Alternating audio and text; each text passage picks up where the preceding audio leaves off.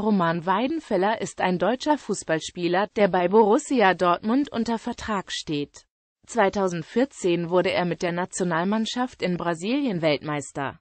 Leben Weidenfeller wuchs in Nentershausen im Westerwald auf.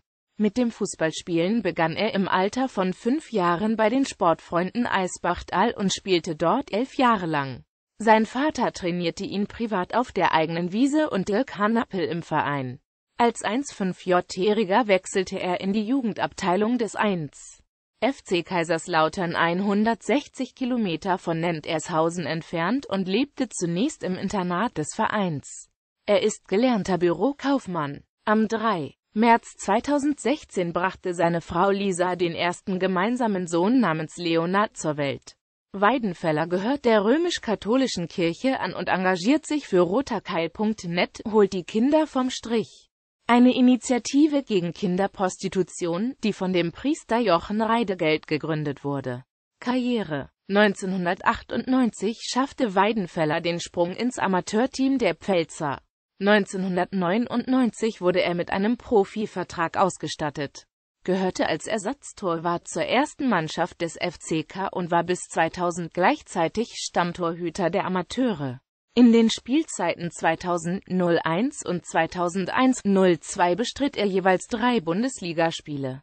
Am 8. März 2001 spielte er zudem im UEFA-Pokal gegen die PSV Eindhoven und zeigte eine herausragende Leistung. Borussia Dortmund Weidenfeller wurde im Juli 2002 ablösefrei von Borussia Dortmund verpflichtet. In Dortmund fungierte er als Ersatztorwart hinter Jens Lehmann. Aufgrund einer Verletzung Lehmanns zu Ende der Saison kam er in der Saison 2002-03 auf elf Einsätze in der höchsten deutschen Spielklasse. Nach dem Wechsel von Lehmann zum FC Arsenal im Sommer 2003 wurde Weidenfeller zur neuen Nummer 1 erklärt. Er konnte allerdings in der Hinrunde die in ihn gesetzten Erwartungen nicht erfüllen und geriet mehrmals durch Fehler in die Schlagzeilen. Zu Beginn der Rückrunde 2004 schenkte der damalige Trainer Matthias Sammer dem im Sommer als Ersatzmann verpflichteten Guillaume Wamas das Vertrauen. Der ältere und erfahrenere Wamas sollte der sich damals im Umbruch befindenden Dortmunder Mannschaft einen größeren Rückhalt geben. Unter dem neuen Trainer Bert van Marwijk musste sich Weidenfeller zu Saisonbeginn 2004-05 zunächst weiter mit der Reservistenrolle zufrieden geben. Am 9. Spieltag erhielt er im Heimspiel gegen den Hamburger SV überraschend den Vorzug gegenüber Wamons. Trotz anfänglichem Unverständnis unter den Dortmunder Fans erkämpfte er seine Stammposition im Tor und die Gunst der Anhänger zurück.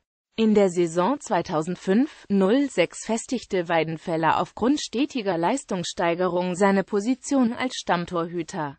Die Fachpresse würdigte seine Leistung durch zahlreiche Auszeichnungen. Von den Fußballfans wurde er sowohl im März als auch im Mai 2005 zum Fußballer des Monats gewählt. Zu Beginn der Saison 2007-08 geriet Weidenfeller in eine Auseinandersetzung mit dem Schalker Nationalspieler Gerald Asamoah, in deren Verlauf er den Stürmer beleidigte. Weidenfeller wurde nach einer Anhörung durch den DFB wegen einer herabwürdigenden und verunglimpfenden Äußerung nach 9 der Rechts- und Verfahrensordnung des DFB für drei Spiele gesperrt. Außerdem wurde er zu einer Geldstrafe in Höhe von 10.000 Euro verurteilt.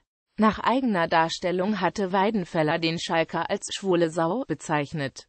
Andere Quellen geben an, er habe sein Gegenüber als schwarzes Schwein verunglimpft. Nach einer Schulterverletzung wurde Weidenfeller am 22.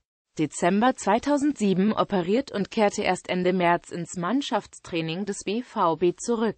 Am 12. April 2008 kurz vor seinem geplanten Comeback zog er sich im Training einen Teilriss des Innenbandes zu und fiel damit bis zum Saisonende aus. Daher stand er eine Woche später im DFB-Pokalfinale in Berlin, das mit 1 zu 2 gegen den FC Bayern München verloren wurde, nicht im Kader.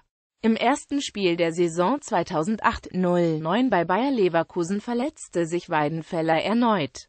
Er erlitt ohne direkte Einwirkung eines Gegenspielers eine Fleischwunde am linken Knie. Ab dem vierten Spieltag war er wieder Stammtorhüter des BVB. In der Saison 2010-11 wurde Weidenfeller mit Borussia Dortmund zum ersten Mal in seiner Karriere deutscher Meister. In Vertretung des lange verletzten Kapitäns Sebastian Kehl nahm er als Spielführer der Dortmunder Saison die Meisterschale entgegen. Im August 2011 verursachte ein Interview Weidenfellers mit den Ruhe-Nachrichten Irritationen beim DFB. Nachdem er wiederholt nicht für die Nationalmannschaft nominiert worden war, wurde er dort mit den Worten zitiert. Vielleicht sollte ich mir aber die Haare schneiden oder einfach etwas zierlicher werden. Dies wurde von einigen Medien als Anspielung auf eine vermeintliche Homosexualität von Bundestrainer Joachim Löw interpretiert. In der Saison 2011-12 wurde Weidenfeller mit Borussia Dortmund zum zweiten Mal in seiner Karriere deutscher Meister, am 12. Mai 2012 außerdem DFB-Pokalsieger. Die Mannschaft schlug den FC Bayern München im Finale mit 5 zu 2. In der Saison 2012-13 wurde Weidenfeller besonders in der Champions League für seine Leistungen gelobt, die dazu beigetragen hatten, dass Borussia Dortmund ins Finale eingezogen war. Am 25. Mai 2013 unterlag er mit seiner Mannschaft im Finale dem nationalen Konkurrenten FC Bayern München im ersten rein deutschen Finale dieses Wettbewerbs. Mit 1 zu 2. Weidenfeller bestritt am 1. November 2013 beim 6 zu 1 Sieg im Heimspiel gegen den VfB Stuttgart sein 300. Bundesligaspiel. Sein Vertrag bei Borussia Dortmund läuft bis zum 30. Juni 2017. In der Saison 2014-15 zeigte Weidenfeller schwankende Leistungen, während die Borussia erstmals seit Jahren aus der Bundesliga-Spitze und sogar bis in den Abstiegskampf abrutschte. Gegen Ende der Hinrunde verlor er zwischenzeitlich seinen Stammplatz an den Australier Mitchell Langerak. Zur Rückrunde wurde er wieder konstant im Tor aufgeboten. A. da Langerak an der im Frühjahr stattfindenden Asienmeisterschaft teilnahm. Im Saisonendspurt musste er, während der BVB eine Aufholjagd bis auf einen Europa-League-Startplatz vollendete, wiederum auf der Bank Platz nehmen. Nach einem Einsatz im letzten Saisonspiel gegen Werder Bremen wurde ihm, wie erwartet, im DFB-Pokalfinale das 1 zu 3 gegen den VfL Wolfsburg verloren ging, Langerak vorgezogen.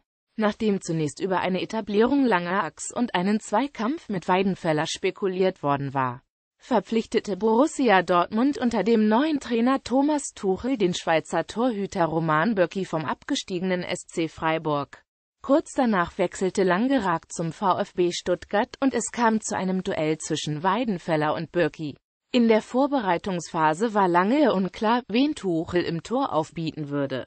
In der Qualifikation zur Europa League bekamen beide je einen Einsatz. Schließlich musste Weidenfeller das erste Bundesligaspiel der neuen Saison gegen Borussia Mönchengladbach von der Ersatzbank aus verfolgen. Tuchel erklärte, dass Weidenfeller dafür die nationalen und internationalen Pokalspiele spielen werde. Am 5. Februar 2016 verlängerte Weidenfeller seinen Vertrag mit den BVB bis zum 30. Juni 2017. Seinen ersten Bundesliga-Einsatz in der Saison 2015-16 absolvierte Weidenfeller beim 2:0 Auswärtssieg am 24. Spieltag gegen Darmstadt 98, als er den erkrankten Bürki vertrat.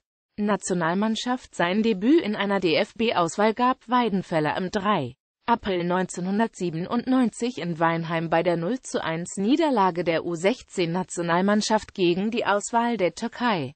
Vier Monate darauf absolvierte er am 10. August in Oberhaing beim 5:1-Sieg gegen die Auswahl des Omans und am 22. August in Hart beim 5:2-Sieg gegen die Auswahl Österreichs seine ersten zwei Länderspiele für die U17-Nationalmannschaft. Im gleichen Jahr bestritt Weidenfeller fünf von sechs Turnierspielen bei der U17-Weltmeisterschaft in Ägypten und belegte mit der deutschen Mannschaft den vierten Platz. Er wurde dabei als bester Torhüter des Turniers in das All-Star-Team berufen. Sein letztes Länderspiel für diese Auswahlmannschaft bestritt er am 25. November 1997 in Gera beim 1:1 Unentschieden gegen die Auswahl Frankreichs. Ferner kam er zwischen 1999 und 2001 zu drei Länderspielen für die U21-Nationalmannschaft und im Jahr 2005 seit kurzem Stammtorhüter bei Borussia Dortmund im Alter von 25 Jahren zu einem Länderspiel für die Perspektivmannschaft Team 2006. In den folgenden Jahren blieb eine Nominierung für die A-Nationalmannschaft lange aus, bis Bundestrainer Joachim Löw Weidenfälle am 8. November 2013 infolge seiner starken Leistungen auf internationaler Ebene in der Champions League, mittlerweile 33-jährig, kurz vor der anstehenden WM erstmals für die deutsche Nationalmannschaft nominierte. Nach einer Party auf der Bank gegen Italien kam er am 19. November 2013 beim 1-0-Sieg gegen die Auswahl Englands im Wembley-Stadion über die volle Spielzeit zu seinem Debüt. Mit 33 Jahren und 105 Tagen löste er Toni Turek als ältesten Torhüter beim Debüt ab und ist insgesamt der sechstälteste Nationalspieler beim Debüt. Danach nahm er mit der Nationalelf an der Weltmeisterschaft 2014 teil und absolvierte in der Vorbereitung zwei Partien. Bei dem Turnier in Brasilien fungierte er neben Ron-Robert Sieler als nicht eingesetzter Ersatztorwart hinter Manuel Neuer und wurde mit der Mannschaft schließlich Weltmeister. Erfolge. Nationalmannschaft Weltmeister. 2014 Vierter der U17-Weltmeisterschaft 1997 Verein Deutscher Meister. 2011, 2012 Vizemeister 2013, 2014 DFB-Pokalsieger 2012 Finalist 2008, 2014, 2015, 2016 Finalist der UEFA Champions League. 2013 UEFA Pokal Halbfinalist 2001 mit dem 1 FC Kaiserslautern. DFL Super Cup 2013, 2014, 2008 Auszeichnungen. Die Weiße Weste. 2009, 2011 Fußballer des Monats. 03 2005 05 2005 Fußballspruch des Jahres. 2011 Eating W. Heffer grandios Saison gespielt. Bester Bundesliga-Torwart laut Kicker Sportmagazin.